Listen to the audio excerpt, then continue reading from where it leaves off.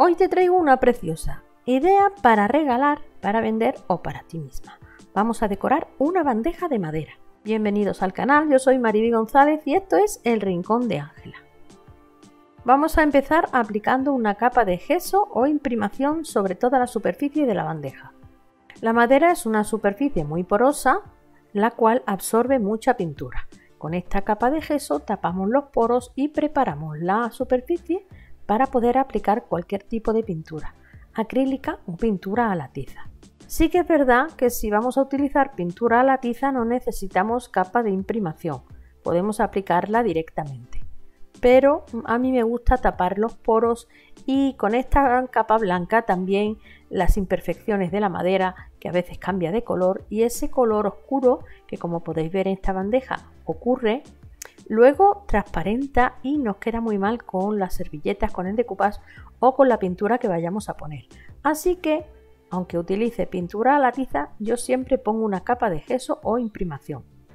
Una vez seca la capa de gesso, voy a pintar el borde de la bandeja con pintura a la tiza color menta y el fondo de la bandeja con pintura blanca.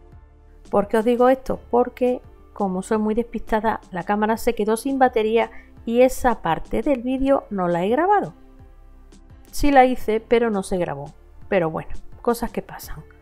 Así que ya sabéis, el fondo de la bandeja podéis hacerlo en acrílico o en pintura a la tiza de color blanco y el borde en el color que más os guste. Para hacer el decoupage vamos a utilizar esta servilleta tan bonita de fondo blanco.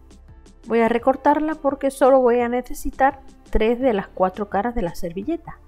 Quitamos las dos capas blancas de detrás y nos quedamos solo con la capa decorada. Con un pincel con depósito de agua voy a ir recortando las servilletas. Voy a eliminar toda la zona blanca que no me sirve y voy a ir delimitando lo que es el contorno de la flor. Ya veis que voy marcando por donde quiero recortar y rompiendo la servilleta para que quede un corte, mm, como puedo explicarlo? Que no sea uniforme. Con esa pelusilla que le queda alrededor se integra mucho más fácilmente en el trabajo, no quedan resaltes. Voy a eliminar lo máximo posible de servilleta blanca de alrededor. Como podéis ver ya tengo mi bandeja pintada y ahora lo que voy a hacer es el decoupage. He colocado las flores en el fondo de la bandeja y las voy a ir pegando con pegamento para decoupage. Necesitamos un pincel ancho y plano. Aplicamos las pinceladas desde el centro del dibujo hacia afuera y de esta forma vamos a ir pegando la servilleta. En el caso de ser elementos laterales intentamos sujetarlos para que no se muevan y deslizamos el pincel hacia abajo para digamos colocarlo. Y ahora ya vamos aplicando las pinceladas en el sentido del dibujo, en este caso hacia abajo. Recordad, el pincel siempre cargado de pegamento, no paséis el pincel seco porque podéis romper la servilleta y de esta forma vamos a ir decorando todo el fondo. El otro día me preguntaba una suscriptora que por qué le salían tantas arrugas. El secreto es no apretar el pincel, deslizar el pincel suave, siempre cargado de pegamento y intentar colocar bien el papel. Si hace aire lo sujetáis con la mano y la primera pincelada que sea larga y que mm, digamos sujete todo el papel. Luego vais terminando de colocar con las demás pinceladas, pero no apretéis el pincel. Y lo importante también, un pincel, un buen pincel para decoupage. Si tiene es ancho, como en este caso, es ancho y plano, eso es perfecto. Con un pincel redondo ocupáis muy poca superficie y no plancháis la servilleta. En este caso, como veis, además de aplicar el pegamento, vamos planchando la servilleta y de esta forma no salen tantas arrugas. Que yo sé que soy muy pesada y repito mucho las cosas, pero es que cosas que digo en el vídeo luego me las volvéis a preguntar en comentarios, entonces me gusta explicarlo bien para que lo entendáis. Una vez seco el decoupage, vamos a crear un poquito de, digamos, de movimiento con este sello de eh, escritura caligráfica. Lo voy a ir colocando por las zonas blancas, pero eh, cambiando de dirección, no siempre en la misma posición para crear un poquito de movimiento en, la, en el fondo. que no sea todo igual y todo en la misma dirección. Estoy utilizando una tinta que no es eh, que no reacciona con el agua, las tintas tipo Versafine. Os dejaré el enlace a este y a todos los productos que utilizo como siempre en la cajita de información del vídeo, donde pone mostrar más. Esta tinta es color sepia y de esta forma voy a ir marcando en el fondo blanco. Si tenéis otro sello de, que no sea de este, escritura caligráfica, que sea una mariposa, que sean flores, lo que tengáis, lo utilizáis. Pero eso sí, es importante que la tinta no sea eh, que reacciona con el agua. También podéis hacer esto mismo con pintura acrílica de color marrón si no os importa manchar el sello. Yo mm, en este caso no quiero estropearlo, así que utilizo esta tinta que se limpia fácilmente. Para el siguiente paso voy a utilizar un producto que es pintura a la tiza perlada, de color perla, pero es chalk, pintura chalk. Esta la he comprado en Dipinto de Blue. Voy a utilizar esta pintura metalizada como si fuera una cera. Voy a coger un trocito de trapo, un paño, y la voy a aplicar como si fuera una cera.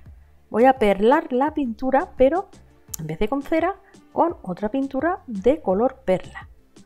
Aplicamos la pintura y como veis la voy extendiendo muy bien con este pedazo de, tela.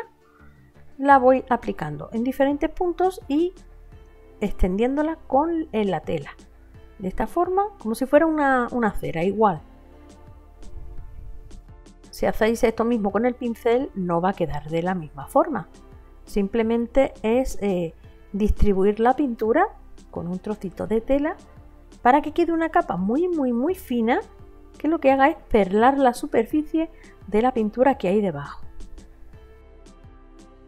Voy a hacer lo mismo con el fondo de la bandeja. Voy a aplicar la pintura metalizada color perla y la voy a extender muy bien con este pequeño trocito de tela. Si tenéis cera dorada o cera plateada podéis hacerlo también.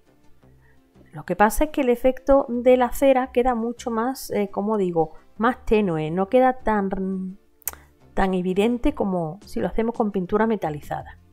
Yo te dejo las dos opciones y tú eliges la que más te guste. Si los quieres más evidente, lo haces con pintura. Si los quieres más sutil, lo haces con cera.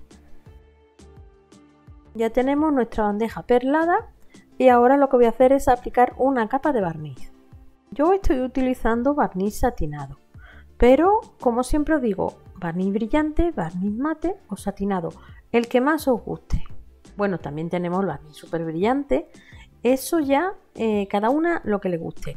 A mí es que el satinado me gusta porque tiene un poquito de brillo, pero no excesivo. El brillante lo utilizo cuando quiero un brillo cerámico o el super brillante y el mate cuando no quiero ningún brillo. Madre mía, cómo me enrollo. Y una vez seco el barniz, aquí tenemos nuestro trabajo terminado. Un trabajo muy fácil, muy sencillo, que lo puede hacer cualquier persona, incluso si no tiene idea de manualidades, lo puede hacer. Espero que te haya gustado. Si es así, déjame un comentario, dale a like y no olvides compartir este vídeo en tus redes sociales, en Facebook, en Instagram, porque así me ayudas a que este canal siga creciendo. Recuerda que tienes el enlace a todos los productos que utilizo en la cajita de información, debajo donde pone mostrar más. Y ya me despido, un beso enorme y nos vemos en el próximo vídeo.